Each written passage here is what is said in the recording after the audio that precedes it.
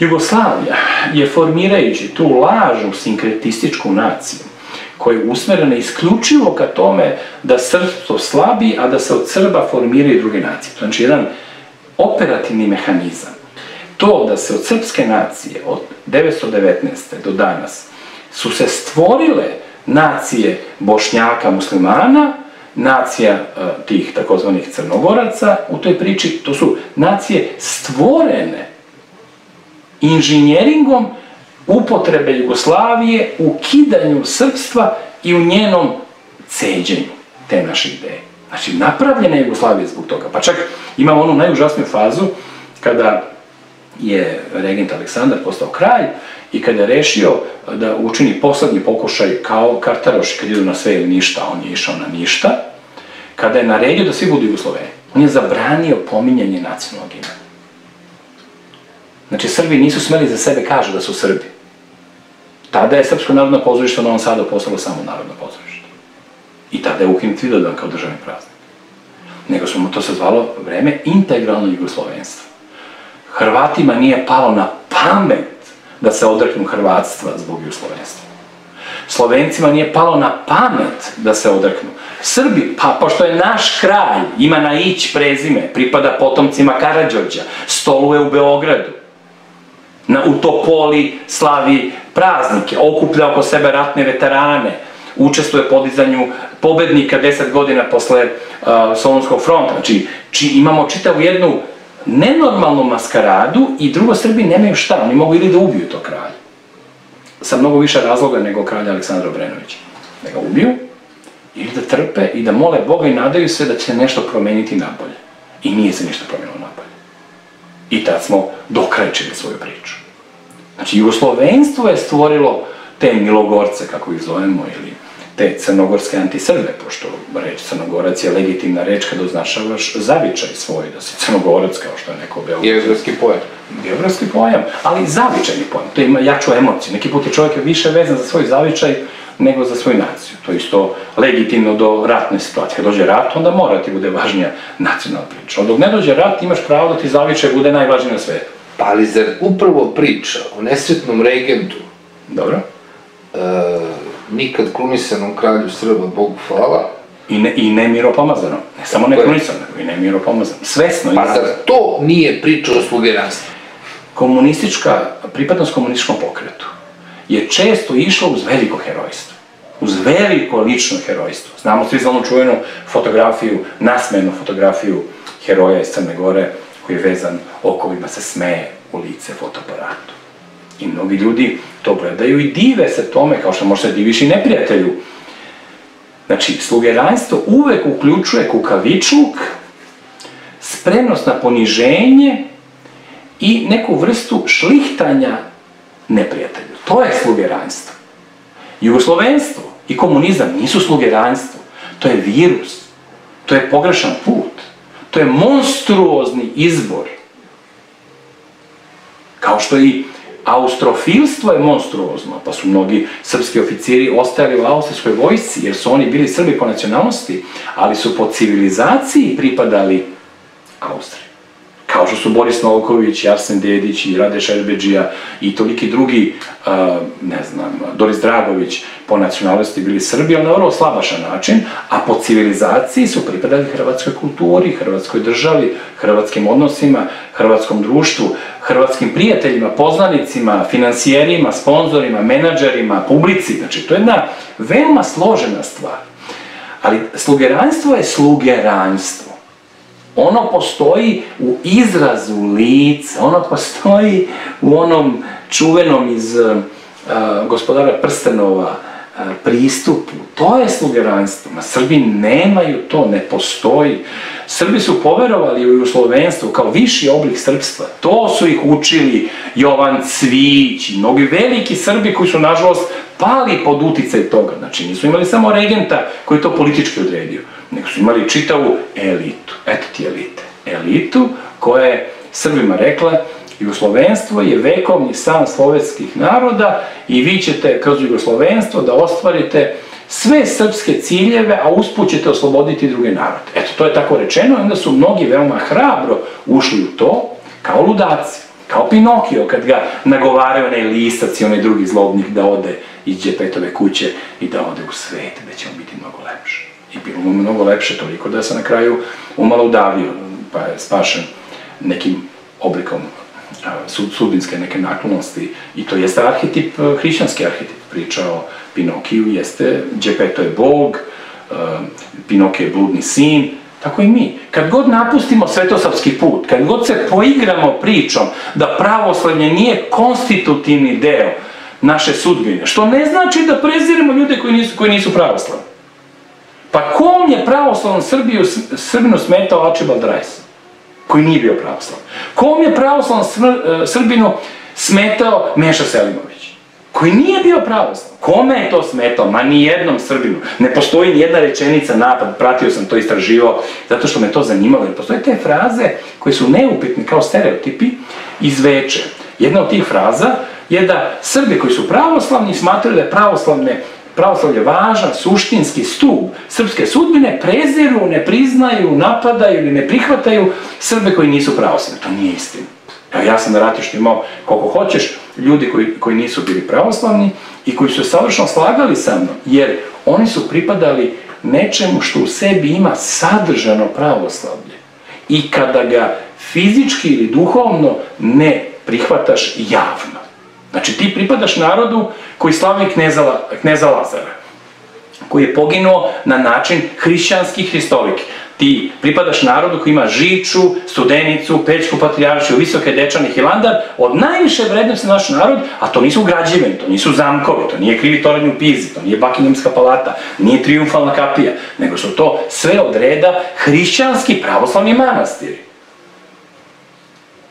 Nije smetalo Arčibaldu Rajsu što su Srbi pravoslavni, što nose drvene krstiće, što se krste, što nose sveću, što slave slavu. Nije mu smetalo. Zašto bi mu smetalo? To je nova forma u kojoj mi tražimo neke duboke jazove i rovove koji u stvari ne postoje. Pravoslavno srpstvo ima u sebi jedan identitet kojim e, nikoga ne primoravaš da uđe u to. Budi s nama. Hoćeš zajedno s nama? Idemo zajedno.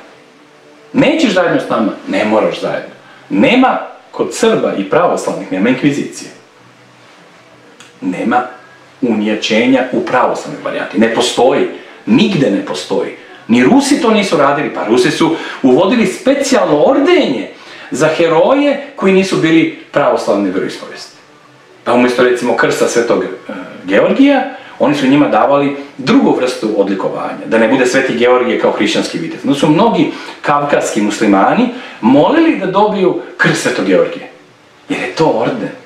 Jer u njemu ne vide samo hrišćanstvo u nekom usko-verskom smislu, nego u suštinskom smislu. Mi pripadamo toj civilizaciji. I Stevan Sinđević je tome pripadao. I Hajduk Veljko žestoki, i Voja Tankosić najžešći mogući. Oni su pripadali pravoslavne civilizacije. Što ne znači da su redovno postali, što ne znači da su se redovno ispovedali, što ne znači da su se često pričešćivali, ali su imali odnos pripadnosti. Ti možda voliš svog brata da ga ne obilaziš i da se ne srećate, a da ga voliš. To je, znači, tako da slugeranstvo je duboko dalek odnos, gde su Srbi neki put trbuhom za kruhom napuštali veru, potpisivali taj ugovor s djavolom, ali više nisu bili Srbi. Nisu to bili Srbi u Ustaškoj vojsci, to su bile Ustaše. Ustaše. Ne postoji srpska jedinica, izvini, u Ustaškoj vojsci. Nego postoje Srbi poreklom, kao Aleksandar Petrović i Dražan Petrović, koji su Srbi poreklom, ali 0% Srbi. Znači, Aleksandar Petrović, košarkaš i trener i hrvatska reprezentacija, koji je po ocu Srbi, on je 0% Srbin. Znači, nije Srbin, tipa 15% Srbina, 80% Hrvat zbog mame i onda govori hrvatsku priču, ali ima razumevanje prema Srbima. Ne, Ante Starčević koji je 50% Srbin po mami, a 50% po tati, on se opredelio antisrpski. Znači, nisu to Srbi koji deluju u okviru, kao recimo imao si Francuza u drugom svjetskom ratu koji su se borili na Hitlerovoj strani i na istočnom frontu, oni su čak bili posljednja grupa koja je kasnije branila Hitlerov bunker, to su znači Francuzi koji su se borili kao Francuzi, koji su na ono čuvenoj Heil Hitler govorili dry liter, izezali se sa tim, nego su se borili kao Francuzi u okviru nemačke vojske. Mi to nemamo. Mi nemamo srpske jedinice u Ustaškoj vojsci. Mi nemamo srpske jedinice u Nemačkoj vojsci. Mi nemamo srpske jedinice u Turskoj vojsci. Mi imamo pojedince. I naravno u vazalnom odnosu u srednjem veku, u odnosu na našu državu, kad svi Srbi okupljeni kod svog despota rade ono što im despot kaže, a pod blagoslovom tadašnjih uh, arhijereja. Znači, slugeranstvo naim. Srbi nisu slugeranski narod. Znači, vi- Autošovinizam, redki pojedinci. Jer ima neki autošovinista da ga znaš, a da nije obrazovan, da nije urbani intelektualac, da nije nadrndani pripadnik kvazi elite, da nije gradska faca, da nije... Ne, ima neki seljak možda da je autošovinist. Ne postoji. Ma ne postoji. Ne postoji, pa mislim, to je, važno je suočiti svoje pretpostavke, uverenja i stereotipe sa istinom. Jer istina objašnjava jednostavno. Ti kažeš, poznajem jedno selo u Srbiji gde su svi autošovinisti. Viš, to je zanimljivo. Idem ja u to selo pa da to uverim se. Ja to ne znam. Obišao sam Srbiju širom i popreko, širom i popreko, nikad na to nisam naišao. Nikada nisam naišao na to. Nikada. Rimokatoličanstvo, zbog toga što ti ja govorim, ne može da bude nikada, ja uvijek pominjem Svilajnac. Nekako mi on pada na pamet. Ali ne može da bude ni u Topoli, ne može da bude u Milanovcu, ne može da bude u Apatinu, ne može da bude u Vranju, ne može da bude kad rimokatoličan, jer nismo slugerenski narod. Da smo slugerenski, mogli bi da budemo. Srbi se povuku za nekom zabludom. I onda kao luđaci za čarobnom frulom. Oni koji prate čarobnu frulu, a čarobna frula ih vodi u propast, to znamo po staroj legendi, oni nisu plaćeni za to. I oni se ne uvlače, ne šlihtaju sviraču čarobne frule. Oni su zaneseni čarobnom frulom. Kao naši mladi komunisti, koji su odlazili u smrt, gledajući prezrivo smrt u oči. Zato što nisu bili slugerenski moment, a radili su sa našim neprijateljima, razgrađivali srpsku tradiciju, bili protiv pravoslavlja, bili protiv srpstva, smatrali četnike po definicijom nečim najužasnijim na svetu, prihvatali Hrvata za svog vođu, prvo tajanstvenu ličnost, a onda Hrvata. Znači, stvar je mnogo složenija i Srbi su veličanstveno hrabar narod koji je bez Vatikana iza sebe, bez nekog carstva koji ih realno pomaže, kao što ga ni 99. nismo imali. Mi nismo imali carstvo koje nam pomaže. Nije se pojavio slugerenski moment u Srbiji u vreme Rambuja i posle Rambuja. U nenormalnim okolnostima. Pa tokom bombardovanja se nije pojavio slugerenski moment, ni strah, ni, ni k- klečanje na kolenima i prizivanje. Jao, molim vas, ostavite nas. Nego kad je završeno bombardovanje, onda kreće srpsko razočarenje, onda kreću srpska razračunavanja. Znači, ne slugeranstvo, nego nerazumevanje stvari. Ima ljudi koji dan danas misle da je aktualni predsjednik Srbije veći neprijatelj srpskom narodu nego aktualni predsjednik Albanije, Hrvatske, Crne Gore ili onog ocepljenog dela srpske teritorije koji se zove Republika Kosovo. I da ih staviš na poligraf, ti bi video reč Albin Kurti ne znači ništa manje više za njih. A da reč Aleksandar Vučić znači nešto žestoko za njih. To je nenormalno. Možeš biti protiv njega. Možeš biti totalno protiv njega. Možeš se sukobiti sa njegovim pripadnicima obezbeđenja, policije, vojne. Ma sve možeš. Ali ne možeš da mrziš više predsjednika Srbije koji celiva ruku patrijarhu, koji ljubi ikonu, koji govori reč Srbija, koji pominja Jasenovac. Ne možeš njega da mrziš više od Kolinde Grabar ili od Mila Đukanovića ili od Albina Kurtija ili od Rame. Ne možeš, pa po definiciji ne, mislim, možeš. Ali onda si idiot. Idiot. Klasičnom smislu reči, idiot je čovek koji ne razume. Nije to loš čovek.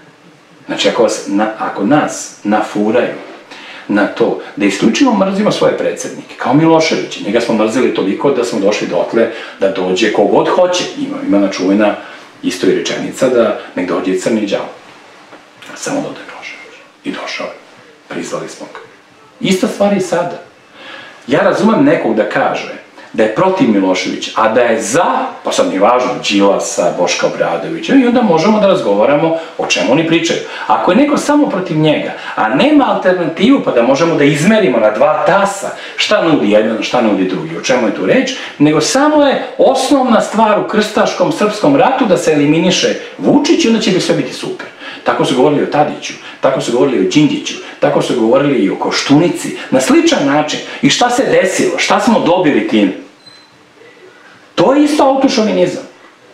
To da se ekskluzivno okrene sva pažnja i mržnja prema nekome koga ne volimo. Ne prema tome šta on radi. Evo, da ja tebe da pitam, šta ti misliš? Kada bi sačuvao Kosovo, Vučić, i kada bi prešao na rusku stranu, i ojačao pravoslavlje, i kaznio drugosrbijance, da li misliš da ima mnogo normalnih ljudi, tvojih poznanika, prijatelja, mojih poznanika, prijatelja, koji bi ga mrzeli i nakon toga? Zato što ih nervira. Jer to da tebe političar nervira ili privlači je nenormalno. To je nenormalno. Jer razumem neka homoseksualac da ga neko privlači. Ja razumem da neki, neko dete malo, infantilno, da nekog mrzi ili ne simpatiša. Ali u politici meriti nekoga na osnovu toga da li ti je simpatičan način na koji govori, da li te nervira, kakve koristi metafore i da li citira Lutera, Hegela ili citira Svetog vladiku Nikolaja, da te, da te to definiše kroz mržnju, pa to je nenormalno, pa to je nenormalno. A to bih rekao i da sad govorimo u vreme Borisa Tadića. I to ću ponavljati i u vreme kad neko drugi bude na vlasti. Prosto postoji srpska država koja je užasno oslabljena, u kojoj nam ne dopuštaju da se dođe na neki normalan način u kome može da se neko stvarno bori za srpstvo, a da ne mora pritom, da, tu mora da se ponaša kao sluga. Ali šef države kad se ponaša kao sluga, to nije slugeranstvo. To je obaveza šefa države. Svaki šef države, svaki šef firme, svaki šef kluba mora da se zbog interesa svog kluba, igrača, svega ostalog, da se ponižava, da se oni ne bi ponižavali. Pa to ti je osnovna stvar u politici. Pa nije se Willy Brandt klečanjem uh, ponizio, nego on je tim poniženjem dao snagu svom narodu da ne mora da se večno pravda i samo govori o zločinima koji nisu oni počinili, nego je počinila prethodna generacija njihovih očeva i to ne svi, nego deo njih.